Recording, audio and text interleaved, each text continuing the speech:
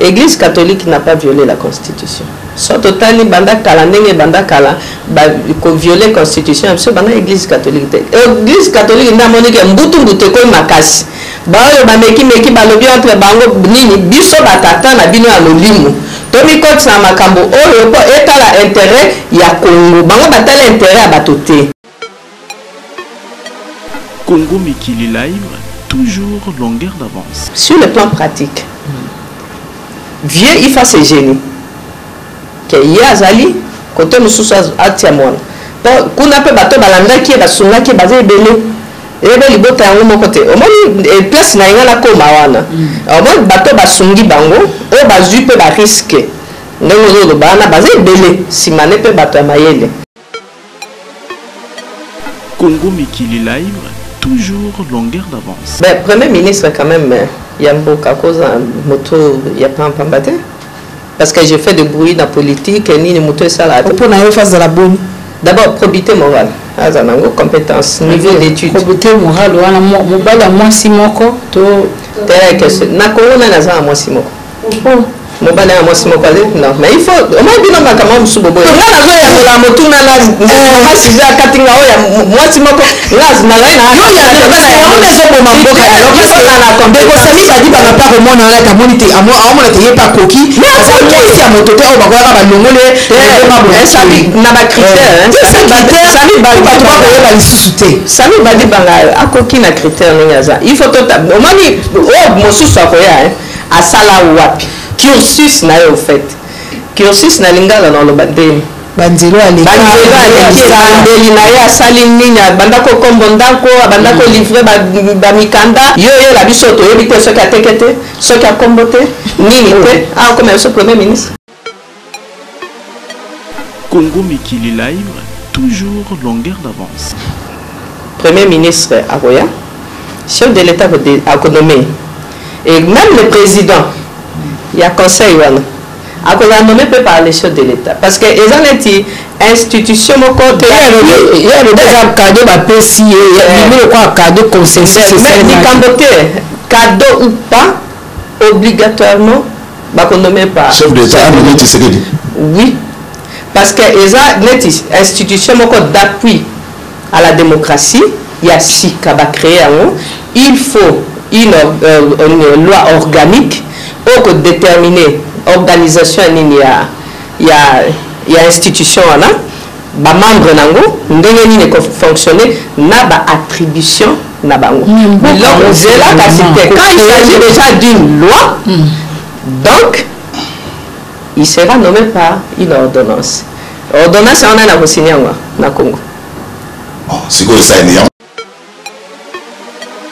Congo mikili live toujours longueur d'avance tozalaka na esengo biso equipe nationale ya koyeba ete bozalaka ebele ya kolanda émission moko kaka botikala nango na mboka oyo bopesa confiance oyo bondimela so nalobi to mama solange ndeko zulu na ngai moko na mopanzi mpo tosola na bino na bato biso tokobengana oyo etali bongo actualité ya mikolo oyo bongo na mokolo ya lelo tosali suni esengo makasi mpo toyambi mama moko ya bwanya ya mayele euh, ye azali so ya kolakisa te toyambi bongo mpo na bino honorable marie louise ekpoli oyo azali bongo secrétaire général adjoint ya mlcl mouvement pour la libération du congo libéral oyo ekambemi na Excellence Thomas Loaka Lusenjola. Bongo maman euh, Marie-Louise Ekpoli, ancienne députée, baponaki na mboka Lisala, lelo akoservir mboka na esika mosusu totanga nkombo te kasi maman Louise totombeli nano bonne année mpo yamba yambo tokutana o depuis année ebandi bonne année maman en tout cas merci Mpo na nga nayebisa bino mobu elam. Mm, ah. Makambo nyonso to malamu mpo na mbula oyo. Makambo malamu mpo na mbula oyo eza mbula moko ekozala décisif mpo na mboka na biso. Première question, Marie-Lise Ekpoli, au cadre ya MSCL, parti na bino ezalaki bongo na masolo ya ya oyo ezalaki na, na site ya Union africaine na, na makambo oyo ebimisaki bongo accord lelo masolo mosusu ezali bongo ya senco mikano mpe misu mpe mizwamaki bongo uta le 31 décembre mama marie louise epoli na katikati wana bino boza wapi bozondima makambo ya senco to boza kaka na kati ya masolo ya union africaine ah, merci beaucoup uh, ndeko sylvie Ah, koloba ke tondimi to tondimi te c'est clair parce que ah, tozalaki na cité de l'union africaine et puis na nini na senco ça veut dire que tondimi baaccord wana mpona paix ya mboka na biso ah, comme notre parti parti na biso mlc libéral toujours tozwaka part na nini na makambo etali kotala ndenge nini ya kotambwisa mboka ndenge nini kimia ekozala na mboka donc euh, toza na bango elongo boza na bango elongo kasi baconséquence ezali ebele est ce que lelo mlcl ase préparé mpo aassume conséquence nyonso okoki koya ntongo tokomona boye tokoyoka d'abord taille ya gouvernement tokoyoka d'abord ce sont les plus forts qui vont rester bino est ce que boza prêt ya ko assumer to lelo to lobi bozala tango mosusu na masolo te alors que bozali bongo moko ya ba allier ya majorité présidentielle merci mingi ndeko sylvie mpo na motuna wana omoni nalobaki ya ke tozali tozosoutenir nini baaccord nyonso tu wana ezala ya cité ya union africaine ezala ya nini ya senco parce que tozali alie ya nini ya majorite presidentielle tant que majorite presidentielle esi endimaki kokɔta na nini na masolo mpe kotia yango na application tomoni eh, inconvénient te mpona kozala conséquent kondima nini oyo nyonso ekoya na nsima mais quand soki bolingi bomi engage na likambo oyo ntango bozosala effectivement il faut ozala conséquent oyeba oyo oya na nsima na nini boassume yango mpona biso na eza seulement mpona baposte ya nini parce que gouvernement ba ko changer ou pas pona poste te mais pona intérêt sikoyo ya nini ya, ya population intérêt ya Congo ya bana Congo tolingi kimia ezala na mboka Maman Solange ndeko marie louise olobi te bondimaki accord ya liboso oyo mpe bokondima yango me oyebi te baike oyo mpenza baalaki na bino elongo kuna na cité de l'union africaine mingi pe ata soki batika nao moke eh, me baa pe bato oyo mpe ya pambapamba te bato oyo mpe balendi mpe na kati ya politiki bango mingi bakoboya accord oyo baza kutu mpe na kati ya gouvernement kasi balobi bamoni ntina mpenza ya accord oyo ya senco Te. Okanisa accord yango eye nde kaka kopesa ba individus pouvoir kasi ye kotala interet ya population te est ce que mlc libéral mpe emoni bongo to mlc libéral ekokende kaka lokola meme lokola sa ndima kozala alia ya majorité so majorité alobi iyo bango mpe balobi iyo non eza bongo tomoni meme so toza nini balie ya nini ya majorité présidentielle toza mpe na mwa contribution na biso mpe topesaka na bamakita tokutanaka yamba kozwa mikano ya mboka badécision makambo mosusu tozalaka na bango elongo ah, bazoboya ou pas omoni c'est tout à fait normal Towuti na le 18 octobre il ya pas longtemps dans deux mois et deux semaines après balobi accord wana eza esuna nini na tina te eh, nini tondimi quand nalobi ke tondimi c'est à dire avec euh, notre allié principal tondimi tokei tosali nini bamasolo yango mpo moni meme na ndako ya libala ndeko Solange soki kosolola eza te bokozwa solution te okaka mwasi boye mobali boye matata mikolo nyonso na ndako bayokanaka te bato bazalaka victime nango ezalaka sikoyo bana na ndako bato bavandi na bino pembeni bana bandeko bavandi na bino bango nde bazala victime ya biloko wana yango tondimaki ke tosolola na nini na masolo wana omoni problème aye se pose beaucoup plus omoni par exemple napesa exemple nini ya balobi pona ba elections na cite ya union africaine ezalaki euh, tobengaki ceni eyaki on avait de l'expertise et ya ceni et ya oif et ya monusco donc ya onu ezalaki nde balobaki bataille na ndenge nyonso tout balobi ke élection ekozala na nini na strict minimum hein? na nini le na avril 2018 et maintenant toke na senco balobi bon eza peut-être nini na 2018 lisu te na décembre 2017 de cette année sur quelle base ya expertise basali wana expertise nini pour moi je pense que c'est un accord politique Hein, je m'excuse hein. Namoni qu'il y a accord politique qui peut apaiser ba esprit ya bato euh, totia décembre 2010 mais réellement ou pratiquement c'est impossible que tu organisé ba élection en 2017 en décembre 2017 donc, donc côté mosusu majorité bazoba il faut être réaliste aussi que est ce que ekosimba par rapport à date oyo batie na nini na na decembre est ce que date ya 2018 c'est pour ça nous le msc libéral tolobi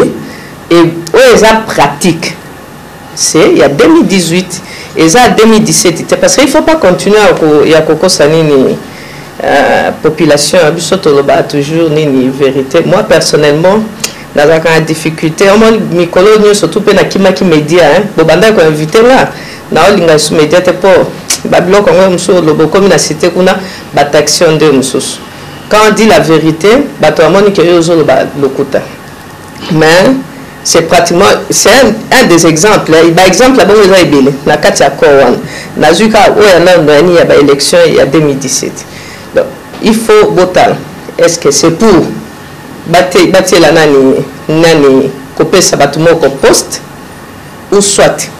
interet ya population alors soki moi personnellement soki ezalaki mpo na interet ya population et pourquoi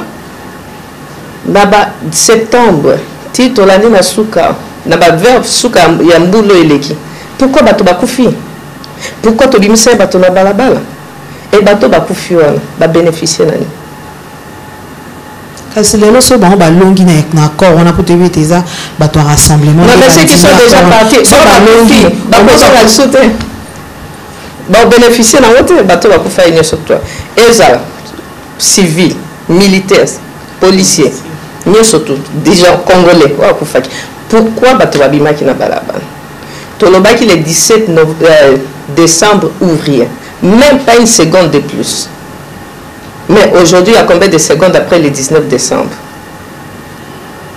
yango nalobi na politike ya mboka na biso totika kokosa population tant que biso moko toyebaki ke elingaki ezala bongo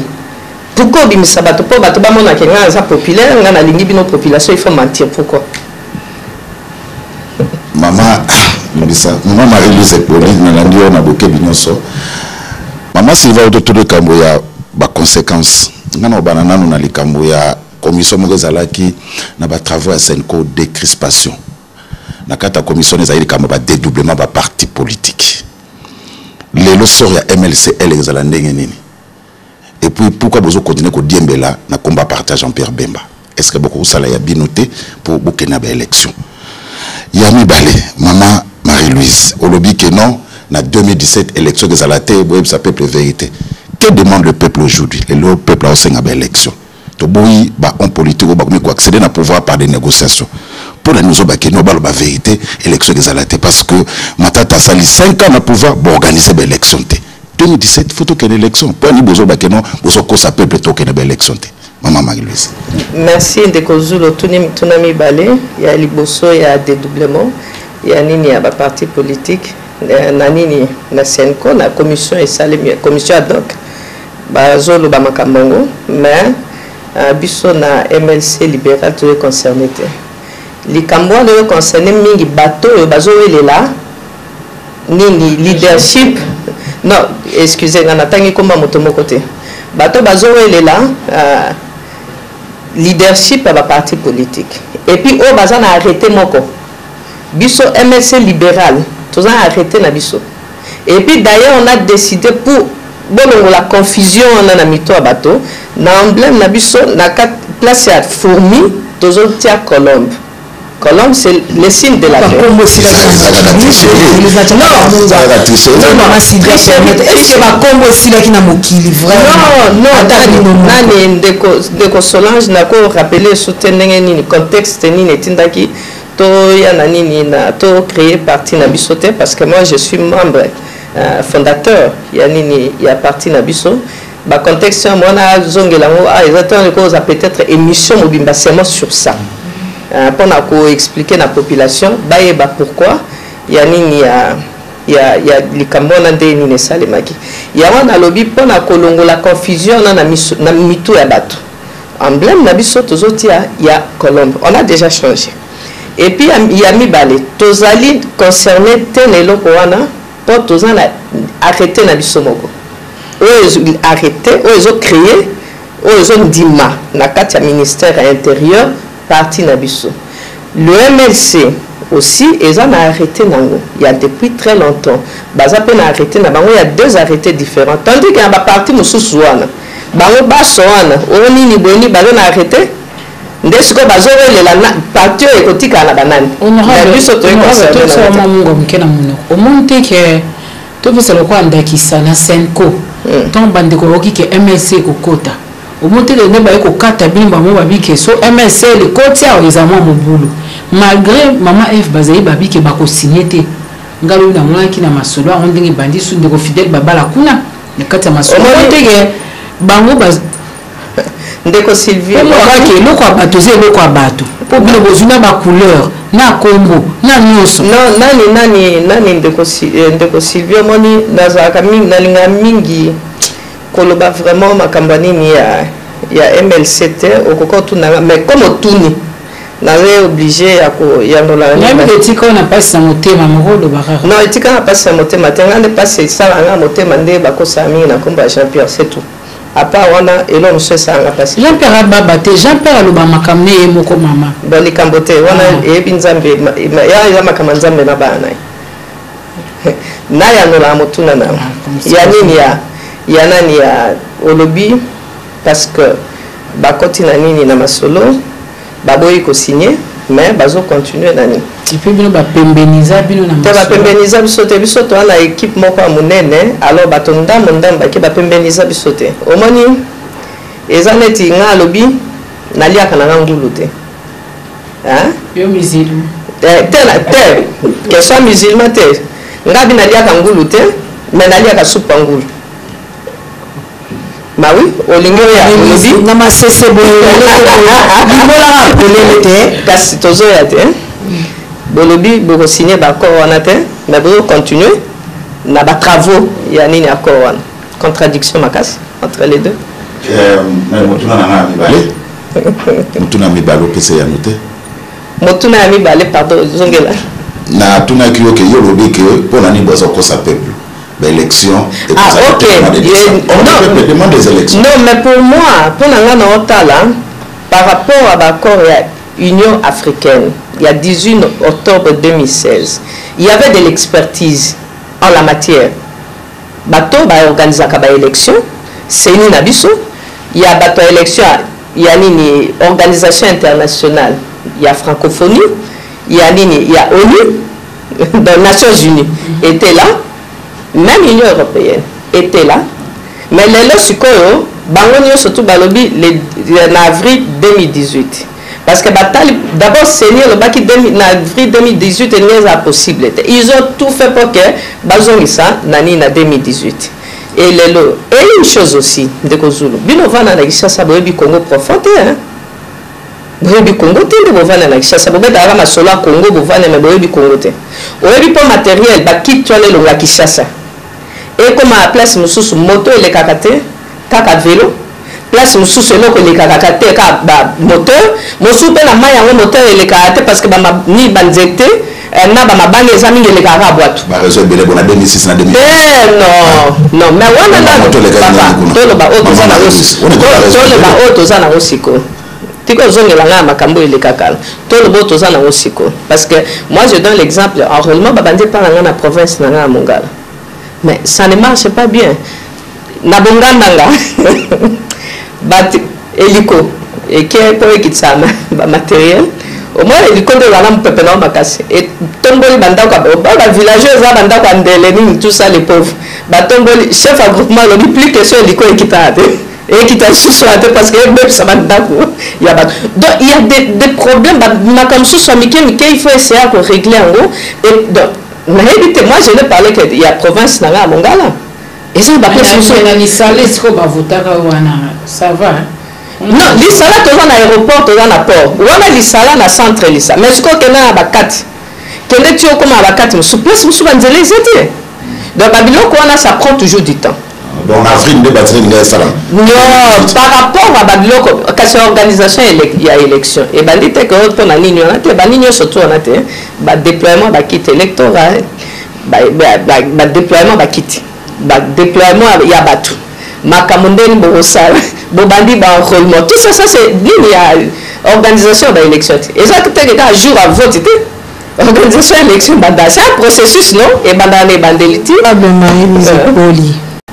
Oko loba kitoko kasi ndeko zulu a rappeler oyo ate ba elections esalamaki quand meme oyo pe batu ba betela yango maboko tozui kuna 2006 oboyi bazonga biso na sima or soki totali na sima nde tobongisaka liboso bon wana eyaki ka observation yo lobi awa te na accord ya 18 octobre eh, baexpert bazalaki bato ebele bandimi yango nayebi te soki oyo mpe okolanda ndenge mpe kaka bameme expert wana kaka bato oyo otangi ndenge bakobetela maboko na senco ndenge asali mosala kitoko mosala esimbi eh, ndeko marie louise ah, bokomona tela oyo oyo para gato bokozwa ya moke yango wana bilomc libéral bokobanga to nini mpo bato oyo bango mo bakolobaki bakopesa misolo na congo mpo nabandimi senkonani ndeko sylvie eza ndeko solange eza te ke tozobanga mpo na para gato tozwa moke to ebele to nini te non pas question de la toye mosika ya makambo wana gato bapesa biso to bapesa biso te eloko biso tozoluka liboso ezali kimia ya bana congo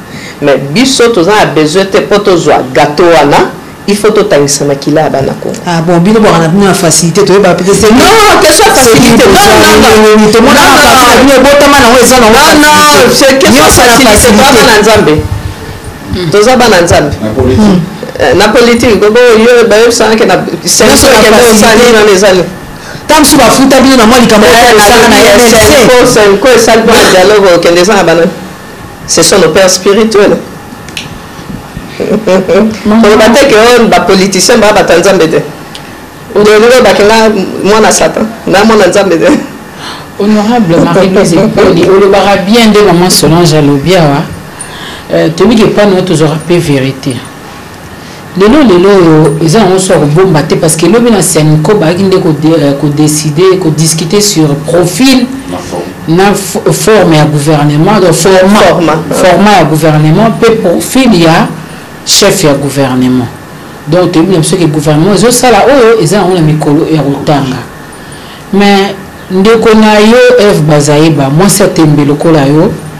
secrétaire général ya mlc alobi Tokoki kozala te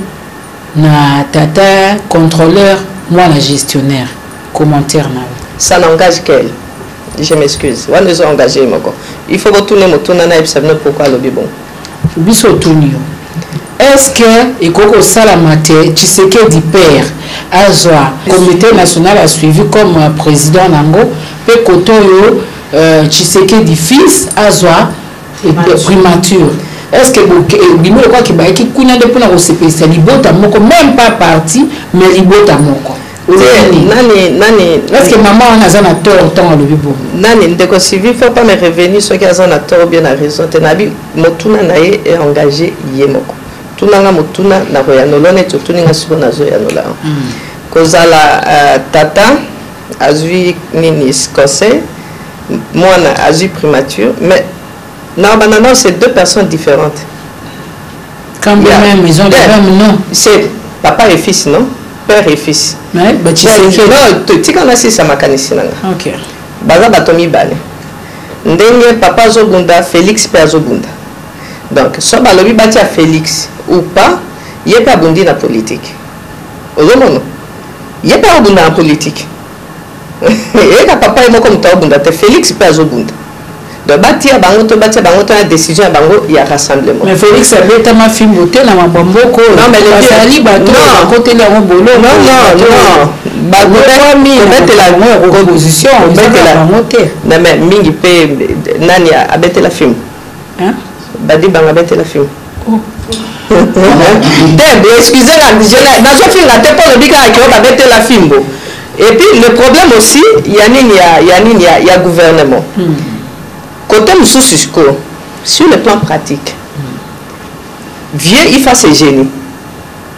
Que ye azali cote mususu atia muana po kuna pe bato balandaki ye basungaki ye baza ebele ye pe libota yango moko te omoni eh, place na yenga nakoma wana mm. omoni bato basungi bango oyo bazwi pe ba risque ndenge ozoloba wana baza ebele simane pe bato ya mayele po toyebi ke bato ya mayele Soki pe abimi boye alobi obi moto ya mayele bazali donc sikoyo cote wana nde na soki rassemblement ou bien nini je sais pas comment ils vont s'organiser mais na commission ad hoc ya vers ce point là lobi ba discutaki et puis ba adopter yango que profil ya moto akozala premier ministre il y a aussi une difficulté ça me revient maintenant en tête tout de suite là Le gouvernement ici est composé de 4 nalobi lopoto mingi ndeko marindoaprendre yo te moyen te ndeko lelo oyo gouvernement oyo bakambi nango mingi bazali balobeli na biso na parlement bazalaka na bango bakotoko me ya mbala eleki mingi embala liboso batia premier ministre ale moponomi donc eh, walukulu depute national mbala liboso. Mais 67 pe eleki hein. Te kokenoo na nga ya nini ya nombre wana te naloba nde par rapport ya, ya bato oyo bapono mibale na kati ya gouvernement wana mm. epuis difficulté mosusu na ye nango udps na plus de député aza na député te na assemblée officiellement mpo aloba ke badéputé wana bazali bango nyonso baleradier alie na bango moko baye baza nango 42 te tika nano bango baso baze radie baso baye na assemblée nationale wana baye susu na kati ya bango te mpo bandimaka kovanda kosiege na nini sans kotosa oyo mot d'ordre ya président bon lelo oyo ntango bakozonga ezoya sikoyo udps baotia uh, baopona premier ministre na bango nayebi te soki bongo upa soki te bango bakopona il faut parti na yo no moko na basoutenir yo yo liboso je vois pas comment badepute wana parce que bafinga bango na ndenge nyonso tu babebisa lokumu na bango na ndenge nyonso tu lelo bakozonga mpo bango nde bato ya liboso il faut basoutenir Moto ya parti na bango basolola na baninga na bango mpo oke botika moto na biso eh, tosala ezalaka nde masolo na kati wana na kati ya sala wana ndenge ezalakandima mpe assemble wana te eh, ah, yango kasi azoloba mm. tokela bapamba parti na ye mm. est ce que bakondima koinvestir koinvestir nani mokambi ya gouvernement koya oyo akouta na idps Bakoki ondima mpo baze ba patriote mm. nabi bakoki kondima mpo baze mpe ba patriote mpo na kimia ya mboka na biso bakoki mpe kondima bakoki mpe osola na bato mosusu mais avant bandima yo bakosambwisa yo likolo ntina so obimi zoba liboso ya population apres babi mpo na kimia ya mboka eh?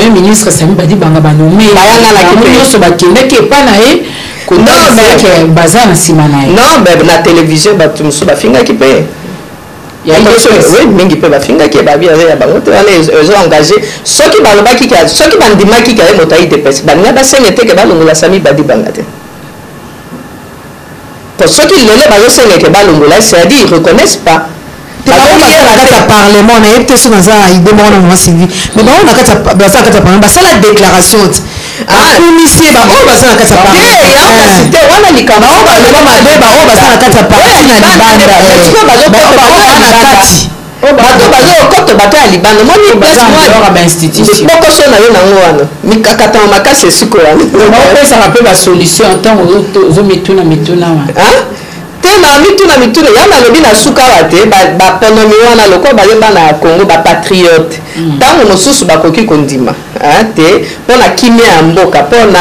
uh, etamboli ya mboka na biso eke na ndenge ya malamu baloba te ke bango nde bablokaka mboka te mpo na bango nde nini esalemaka bo te bakoki kotika basede balobi bo toya mpo ezongela bango na mito na bango te mais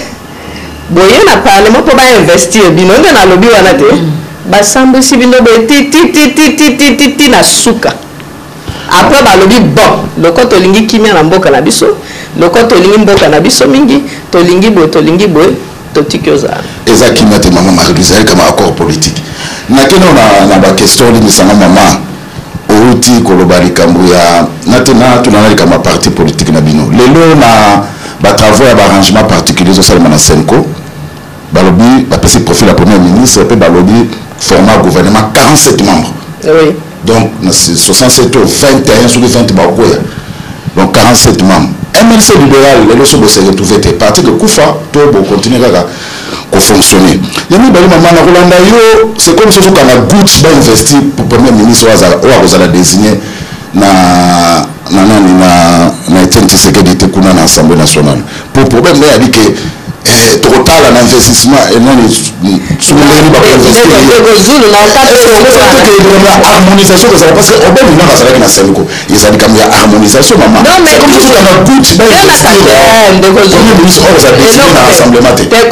koloba likambo ngai alobi te nakangi gutu te napesi nde nakaboli makanisi na ngai Naye nasali nde analyse reflexion moko ya haute voix et puis nalobi na suka te loko bango baze ba patriote bao suka nde kondima eko ndimama kaka mais nakangi gutu te ke faut kaka nini elongwa oyo oh, mosusu ekotono kani tokanga gucci te bakondima kozalaka investi ya problème te eh. likambo nani ya oyo ya liboso mlc 47 membres soki bosenge tuve te est ce que parti kokufa obe bocontinue vivre tokovivre ndeko zulu parti ekufa te tokovivre parce que omoni nde tookende na baélection okeba bozokondaka te bolai misato kuna euh, omer egwaki toma luwaka jamais kambinga lelo jamais wana comme déjà euh, atako biso tolingana na misato wana mwasi mpe ala lokola yo en tant que secrétaire général adjoint ya parti il fallait na cadre ya parité honorable toma luwaka je connais le congo asala mpe mwa eloko moko eza na kati me bon tokota mpe cuisine ngai nakoto na kati to bie nini mpo yo toza na face epuis na poste yo oza na parti ezosenga ke na ndenge ya legalité ya, pa, ya parité wana nde bazalaka misato faka ata mwasi azala moko bon nani nani ndeko ndeko sylvie omoni euh, Ya nini kokende na mi, tozalaki misato na gouvernement etikali mibale c'est normal oyo bokondaka kaka eh, yo ya na oloba c'est normal parce que eza na ba équipe mosusu bakotaki il faut otikela mpe baninga mosusu esika ok kasi ezalaka bongo te politique ya congo parti combien baza après lelo soki otali gouvernement combien de président parti batikeli batikeli bacollaborateur na bango bisika Bon, natanga bango tika nabi kotangela nga bakombo ya bato te ce ah. sont des gens que je respecte beaucoup biso mpe torespectaka ah, bango donc otangela nga bakombo ya bato te na nini na, na émission bakoki ko je ne vois pas na bakoki mpo osala ke batie bato na bango ya confiance bango moko baza te me batie bato na bango ya confiance eh, eh, ah, bokoloba ah. peut-être mpo na nini ya ya ya parite bon cote ya parite la quand même hein, wana problème ezali wana ba président nyonso to ya ba parti tout balimbisa nga en commençant par le chef de l'état lui-même parce que ye garant ya nation il fallait atalaka quand même na baliste oyo bazotinda mpona korespecte parité mpo soki eza respecte te bakritikaka nde biso tokritikaka nini bato mosusu te tokoki kondima te na nini gouvernement oyo monene koleka basi bakomi ata zomi te kasi wana ezalaki omoni ebongaki basepelisa bino bino bato oyo bokendaki na cité de l'union africaine lokola baike baboyaka kokende kasi yango wana esukaki bongo te me yango ezwaki babi bino nde bozalaki bacourageux mibwaki na mai yango nasepelisa nani ndeko solange omoni wana oyokoto na point moko ke ntango mosusu baprésident baparti baomono nga mabe mais nasengi bolimbisi bamonobaparti politike baparti wana nyonso tozomono basi ya makasi bazali basi oyo moto esalaka bazali basi oyo qui sont capables ndenge bango bazali capable basi yango mpe bazali na baparti nyonso tout awa na congo bazali naoloba na parti na ngai te baparti nyonso tout y compris mon parti bazali poso alongoli parti na ngai boloba naosala injustice baparti touyakino respectaka parité te mama solange numéro 3 ya parti eh, eh, bon na baparti mingi barespecta parité na baorganisation ya parti je m'excuse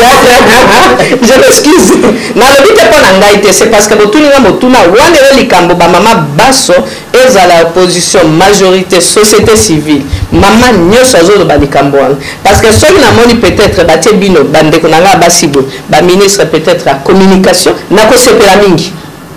Na moni ba tie place bo na moni na parti bo ba parti ya minene pe ezali pe so tomoni ata na finance to na défense to sepela mingi ah, mais pourquoi pas ah. yango omoni mpo na biso basi te moto aja ah, kaka droits humains biso ba mama affaire sociale biso ba mama yango wana ntango tolobaka motuna etali ba mama oyo etali basi tozalaka biso tozalaka moto moko bino boyebi yango bino mibale tozalaka moto moko etali mpe nde kokenda konegocie baposte na bino mpe bino bamama ya parceke ntango bakopesa yo poste boye mpe otali olobi ngai aza capable ya oyo mosusu bino bozelaka opiengaoyebeloko sokisi nga naye naloba omoni Oyo eza elite oyo yo na biso toye na yo mikolo nyonso tu mpo na mibali na biso ya Congo lokola te nde bazalaka kuna na mito na bango mwasi aze toujours na nsima bango liboso mito wana ti na politiki baze na ndenge wana. Ndeko Marie Louise tolandaki yo awa namonaki lokola eh, maloba na yo biyano opesaki na na mituna na basi to mama sito ndeko Zuba atunaki esalaki lokola ntango mosusu toza tokomi deja na kati ya crise mosusu toza na impasse ekoyebana te na accord yango toboyi te lobi bato basanganaki ta mosusu ti butu butu bakolobela kaka makambo moto aza pessimiste awa aza te moto alingi mboka na biso azotya libabe awa na banzi na kati na biso aza te kasi soko lelo tosukeli kaka na point wana bamosusu batikaki kuna na ngambo bamosusu bakotalaka critère bamosusu bakotalaka eh, eh, eh, ngai mpo na kobima te ngai nazwaki riske na kokende lisusu kuna te na kosigne te nasi nazwi poste na ngai ekosukelela boni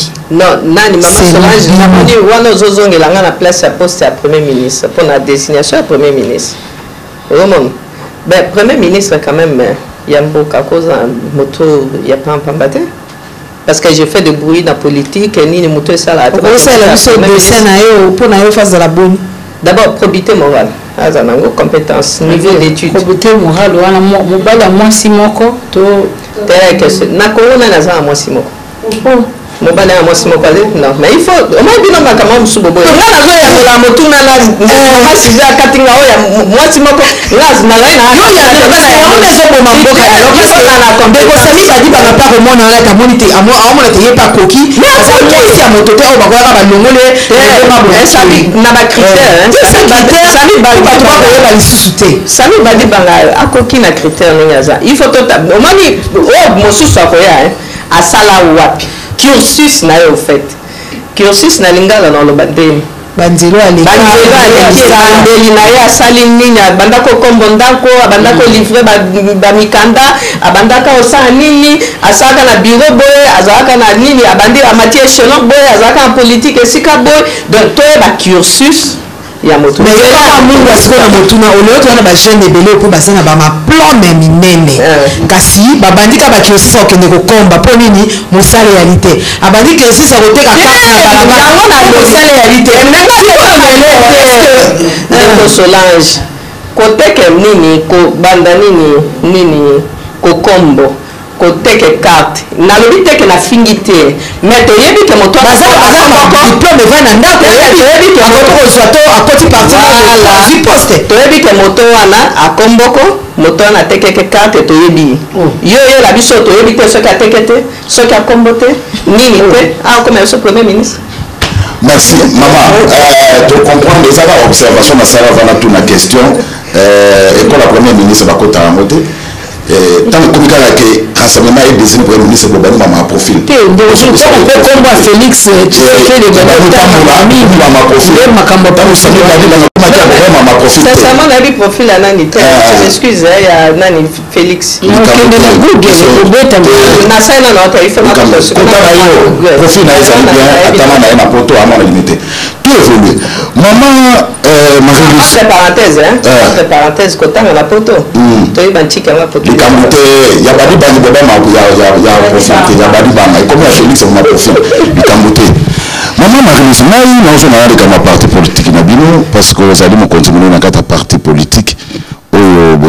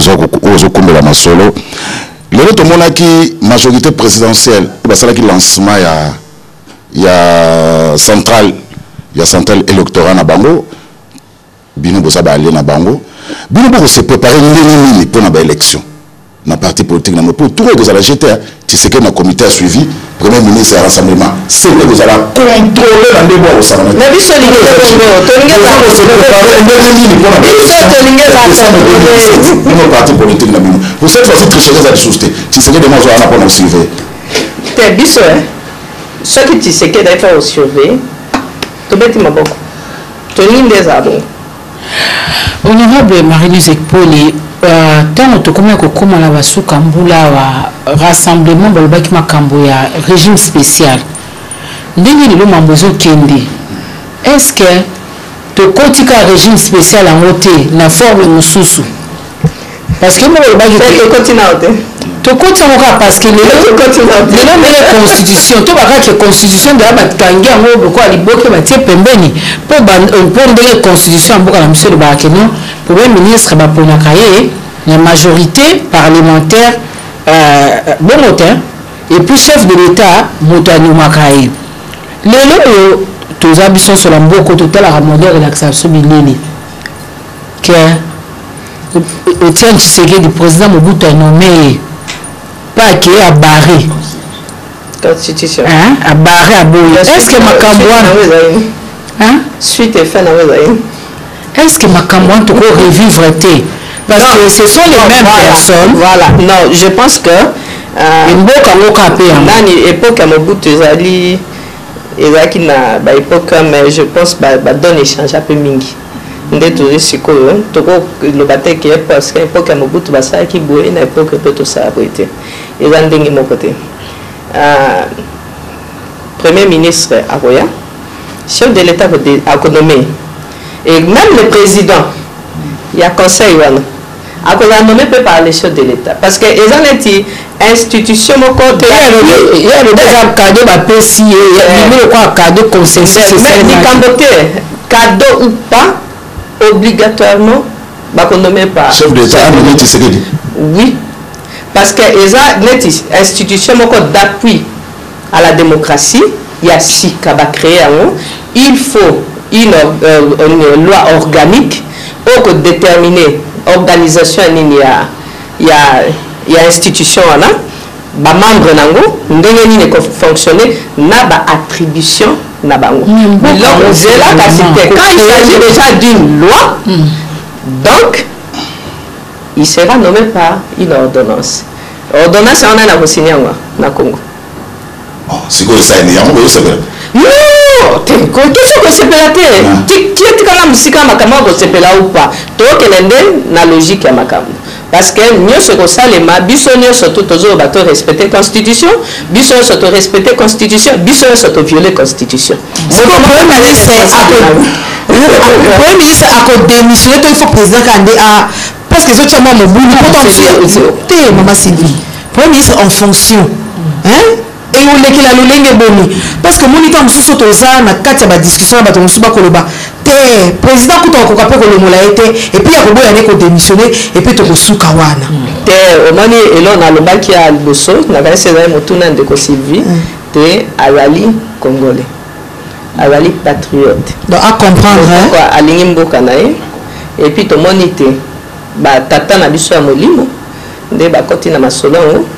bato bapesa misolo te mosusu tenga ke kokela makambo ya bato bapesa mosolo te mpo mosolo bapesa barekiperaka yango otremo hmm. bato babomaka biso mpenza nde yango wana kende na nga kote ya batata ya biso ya milimo po nga nde catholique oyo ya biso makambo saint père alobi c'est la parole d'évangile nde toyokaka oyo akolinga mpo na bolama mboka na ye aloba bon totika tosala boye boye boye soit akodemissionne ezali bato mibale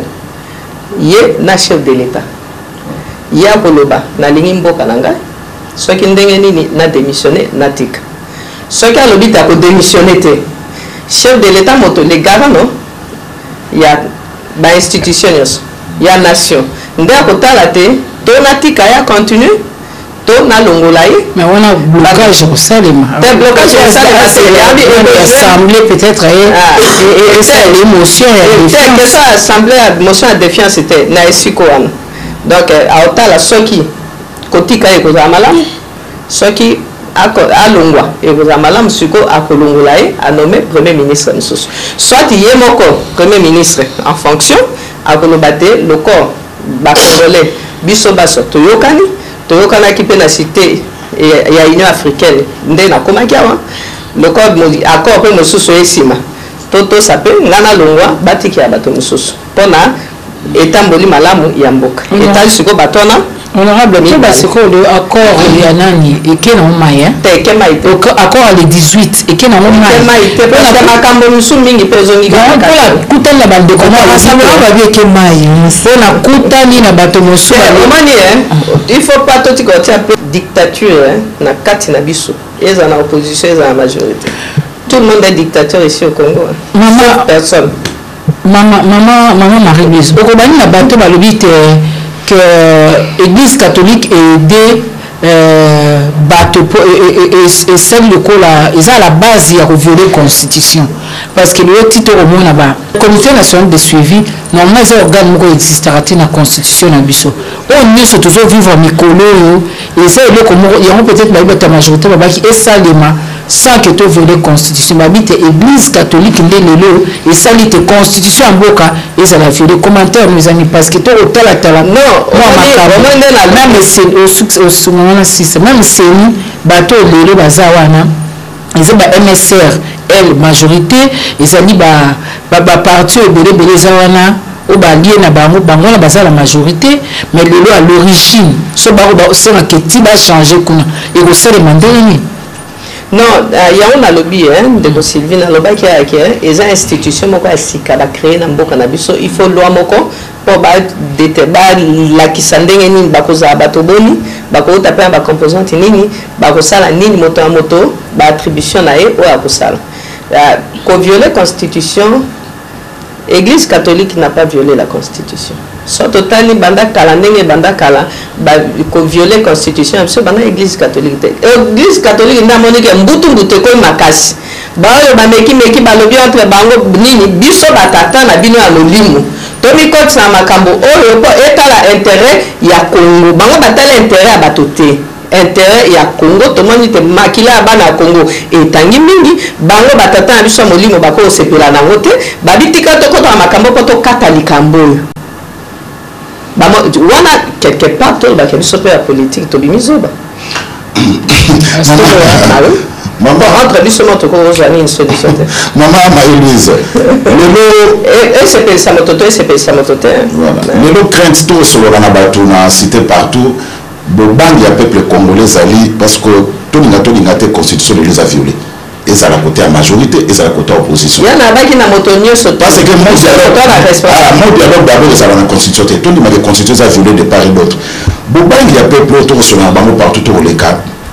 poto bino bayi politique ya mboka bosinyaka botyaka mokolo to bolobaka borespectaka te est ce que bokorespecte accord oyo bino bayi politique ya mboka mama marie louise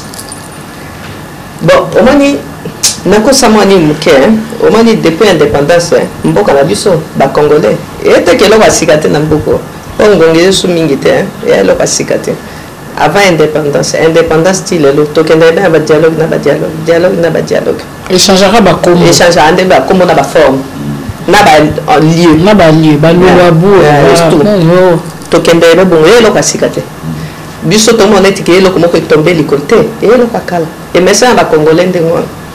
yango il faut toyebisaka bato verité te eza boeze boeze toke na dialogue mosusu upa na bana libota ndenge bavandaka baswanaka mikolo nyonso tu babongisaka mpe mikolo nyonso tu yo oze na mwasi no na ndako mwasi no olobaka teke bovanda be malamu malamu malamu te boswanaka mikolo nyonso tu bobongisi mikolo nyonso tu e eh, mosusu bapartin na bino baya kosangisa bino Bavandisi bino balobi na bino ke boto et c'est ça. Tant que vie eza na bato bazo vivre to continuer be bongo. Ndeko ndeko eza kaka. Ndeko Marie Louise yo oza pe élu ya lisala. Eh osalaka toyebi ete na élection elekaki okweyaki échec. mais naseki mpo nayebi ke nakweyaki echec te eh, moto moko te akoya kocontredire nga bon soko moto ayibaka bavoi na yo toyebi te non nayebi te ngai nandimaka yango mpo bato nyonso baza na baa bandeko na ngai nayebaki ke 5 ans elekaka mbangu balamu bato bacompare oyo ya liboso na ya nsima wapi ezalaki malamu Mm. Et puis banani balobelaka mpo na mboka et puis nani alobelaka mpo na lisala oh, c'est tout ce que esali mpasi boye mpo ya nini mama maye zala ta moto obeyaki nayebi obe lingala lelo oyo na mboka na yo kuna mwa mobulu eyali na lisala olobaki ata olobaki aka hélicoptère mpe kitaki etomboli ba ba tol eke nango bandako ya ndele eh, bamatiti wana tomboli yango eke nango mm. sika mpe mwa desordre eza kuna yo oza quand même moto oyo nabanza tovandi na kisasa mais motema na yo yali kuna mpo oyebi oyo osalaka mpo na bango oyebi mpe bango oyo basalaka mpo na yo mpo ndenge mpo ozalaka koleka na parlement koloba na bango ezali kaka mpo na bolamu na bango lelo koloba nini mpo na manso eza koleka kuna Bon, en fait, ya nini ya likambo eleka na lisala ezosala mpasi mingi mpo ye bandeko na nga nde bakufi, bandeko ya bacongolais ata ya lisala pamba te, ce sont des congolais bandeko na biso bakufi bamosusu bakufi pamba likambo bayebela ye ntina te ma eloko na osenga nde na gouvernement central akeba na likambo yango mpenza mingi mpo na mboka na biso milisi eze te ezalaki ba tribu na tribu na tribu na tribu te moto moko père spirituel moko azalaka na banda kala nayebi mpe ya moto azali moto moko lokola mambo ya etoko hmm? non pas etoko bon ye azali soki kimbangisi te ake kuna asali nini aye na mikanda na ya leta bapesaki ye lingomba na ye soki esika azwaki zamba azovandaka na bato zamba teke ape zamba mosika te eh, biso bazamba bapesi ye mabele na ye kua avandi na bato na ye bazo cree bon desordre sikoyo esika na osenge na gouvernement congolais alanda nde ayeba pourkui eloko wana esalemi ebandi ndenge nini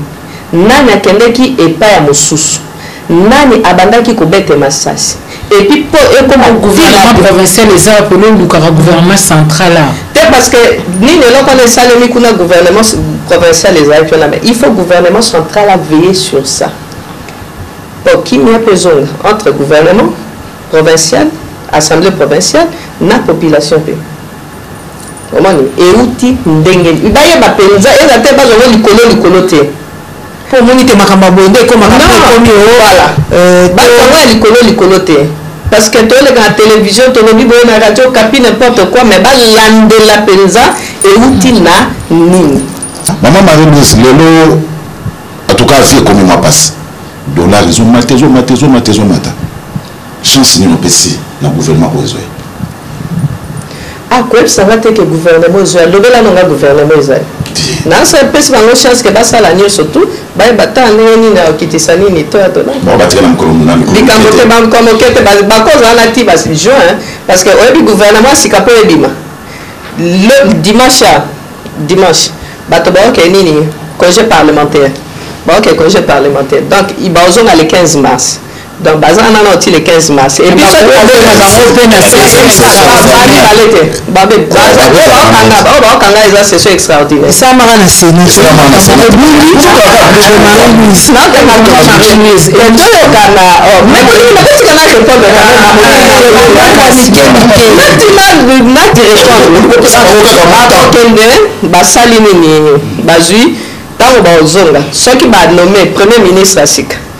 le temps bakende ba investir a premier ministre il faut asala gouvernement na ye asala gouvernement ne bakende ba investir ba ah ti nayebi te mama marie louise ma omoni makambo ya politique depuis omatie matie ondire nzala population batia yango entre parenthèse onde bakangi yango na liboke boye depuis tokoma kolobaka makambo ya senco dialogue bona bato bakomi kopense plus na baposte na bango ezomonana ke nani bino bayi politike bosalaka nde mabumu na bino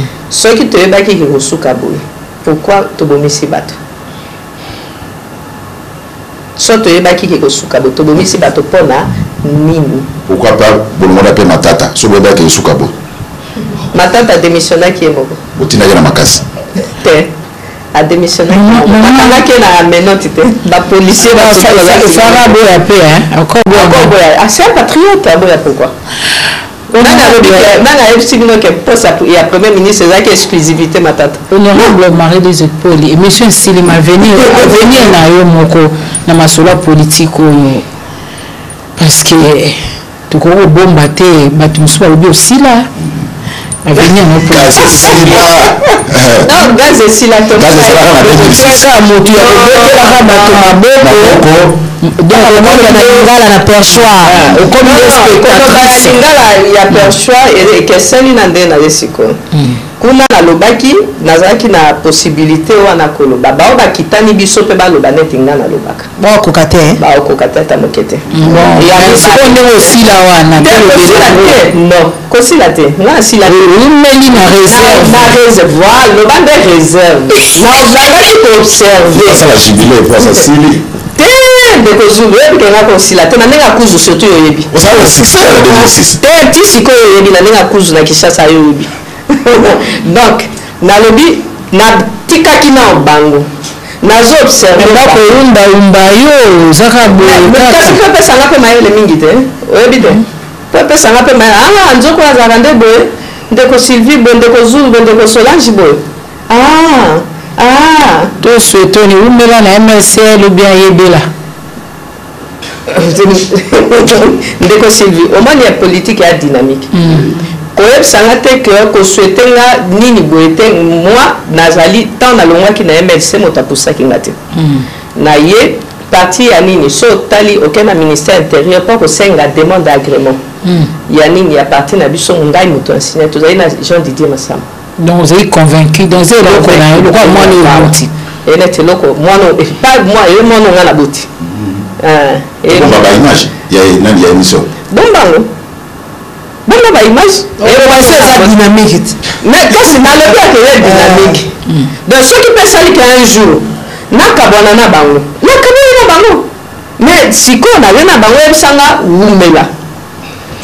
okay. bamosusu awa ekomi elongo wumela yebela ekomi welela oh. ah, bah oui ezalaki wumela yebela sikoyo elongo nyonso to ekomi welela poste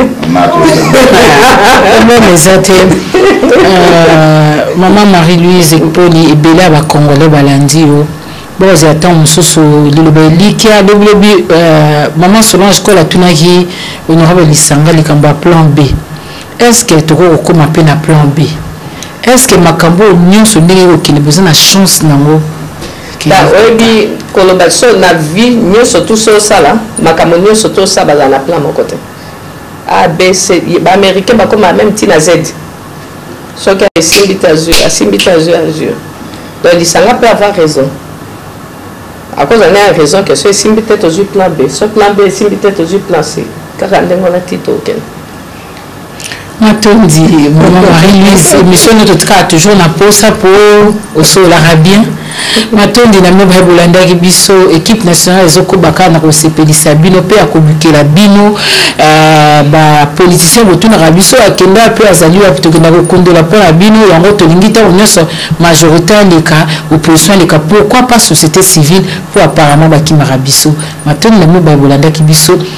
na masolo ya mpifu kuna na antena, na masolo ya sembo kuna na Canal Kin Television, na masolo ya pona ekolo na CMBDJ, po ya nini te soki maman Marie Louise atie mua ba moyen tokende yango pe na ba chaine mosusu. Botika malamu nde towuta na mikolo mizali koya. Congo Mikili Live, toujours longueur d'avance.